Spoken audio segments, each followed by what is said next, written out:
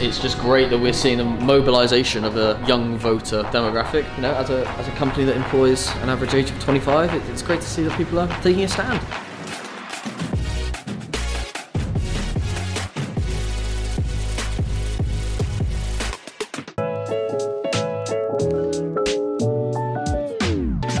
Hello, Alex Burgess. You looked quite stressed the last two days. You actually look like a different person now.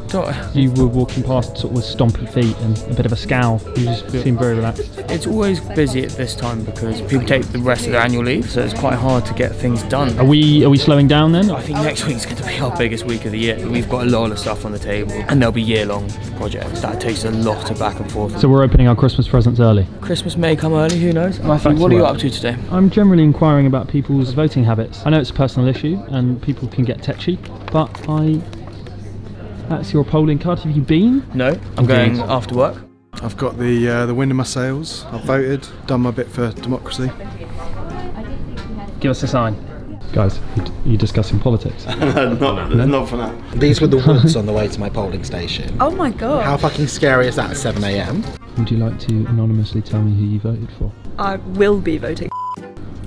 You told me. Yes. Now I feel, Loud and proud. Now I don't feel awkward.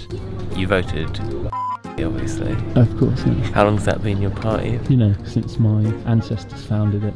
Must be quite nice for you to observe the madness. I wouldn't say it's nice to observe the madness, but it's interesting for sure compared to Sweden. I mean, we have crazy issues there as well. I don't know much about it actually, so I'm in ignorant bliss. I'm just gonna enjoy being Swedish and a Viking and not having a choice today. Well, it's interesting that all the campaigns now have moved onto digital. Jeremy Corbyn wants to give away free broadband, and therefore more people can view social media. That is a good thing. If you could vote, you can't vote, can you? That's illegal, as I found out today. What do you mean? It said on the, the banner today, it said it's illegal to ask. It says it's against the law. Well, this is going to be one illegal episode. Over the last few years, we've seen a massive increase in young voters, or voters who take a lot of pride in, in having their say over the course of these referendums and, and general elections, and we've had a few of them. It's been a social media warfare this election. Labour have done a, a really good job getting the, the social media savvy voter on side. The Tories have traditionally been quite coy on social media, but even Boris has been pretty vocal, probably putting out five, six tweets a day. The Love up- Actually uh, video that I went thought, was, I thought it was really good. No, didn't like it. Uh,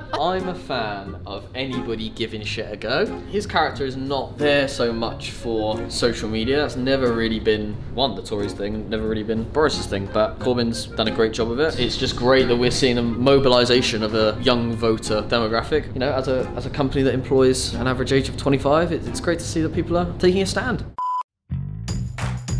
So we've teamed up with Uber. Yeah. And they're doing something nice for NHS this Christmas, all the NHS workers. And they're giving two free Uber rides and two free Uber Eats vouchers, I think like £10 each to all NHS workers. They've just got to put in their NHS number basically. So we're doing a mixture of stuff. So we've got Dr. Alex and he did like a kind of like a carpool karaoke vibe video. Yeah, and basically he got in an Uber pool and then various doctors and nurses or NHS workers from the hospital that he works in got in with him and Yeah. we're talking about the Christmases they worked. So the slogan is hashtag holiday heroes. And it's basically like heroing the NHS workers making people's Christmas special. It's really cute. Mm. And then we've also got influencers posting on Instagram talking about times they've been in hospital. I know one influencer is actually having chemo and she got like all of the staff involved with her to basically thank them. And obviously the main thing is about the NHS workers and heroing them, but we also just want to spread the word. It's not really to promote Uber, it's just to promote the fact that you can get free rides and and brands should be doing good stuff like that. yeah, like help. Yeah. A busy time, I'm sure, them. Exactly. So we want to spread the word. So tag NHS workers.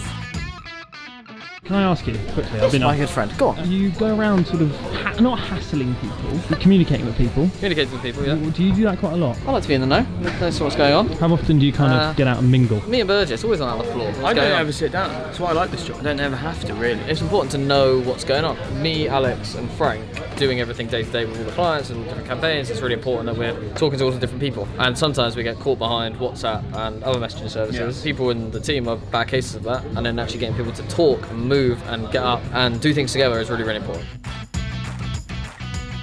Had a call with someone from Nashville. I'm quite jealous. Nashville, Tennessee. Yeah, man. Are you working on US stuff? Uh, well, it was actually an agency. They own like loads and loads of different faceless pages and stuff like that. Right. Obviously, a lot of our work will be really helped by developing, obviously, relationships with these agencies, Yeah. so that we can, you know, access all these massive faceless pages. Surprisingly, they're actually quite hard people to get in touch with. You know, when you can't put a face to a page. How did really it go? How the Really good, really nice guy. It's actually 11 a.m. there, so uh, I originally booked the call at 11 a.m. here, and then he, he emailed me and he was like, "Hey man, It ain't gonna um, work." I'm not going to be awake at 5 a.m." I thought faceless pages didn't have to sleep. Apparently they do, man. As the uh, as the day comes to a close, we seem to be putting up more Christmas decorations ahead of the Christmas party. Tom Freeman is Six foot two, mate.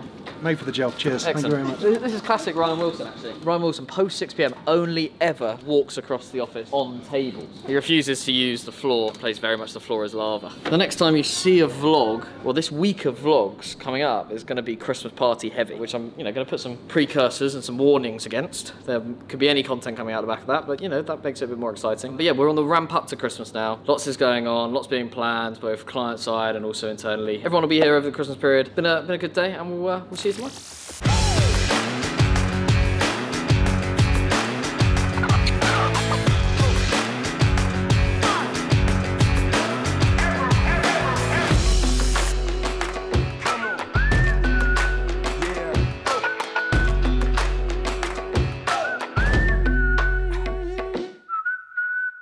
This is Reshoot. In you go. this is amazing. Don't mind the size difference as well. yeah, but just Would you be interested in That's perfect. That's,